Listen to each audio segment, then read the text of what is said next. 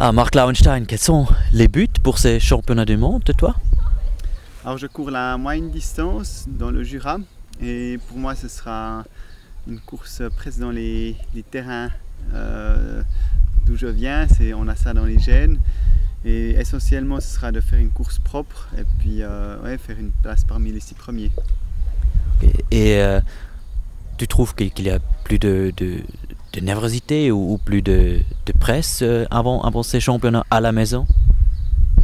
Alors je pense qu'on a plus d'attention euh, de, de, la presse, aussi de, notre entourage, mais c'est quelque chose euh, de, sympathique aussi, parce que bah, on voit qu'on on est au centre d'attention et puis et les gens se réjouissent pour nous aussi.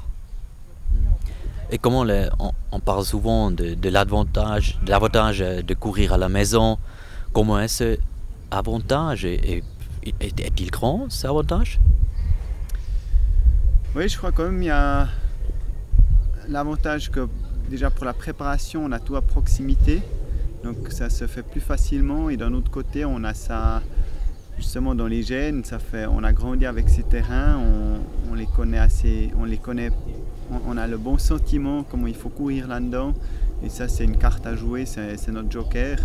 Maintenant, c'est clair, les, adversaires ou les, nos, amis, compétiteurs ont, aussi fait le travail nécessaire, mais euh, c'est quelque chose qu'on a en profond de nous, euh, cette sensibilité pour le terrain.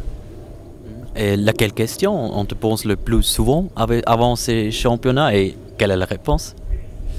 Ah, C'est une bonne question. Euh, bon, pour moi, ce sera mes derniers championnats du monde. Et les, gens sont assez curieux de, voir comment je le vis. Et, ma réponse, c'est que, j'en profite, je le profite, j'en profite vraiment à fond. Et euh, ouais, chaque, chaque camp d'entraînement au chemin pour CVM, je savais que c'était mon ultime.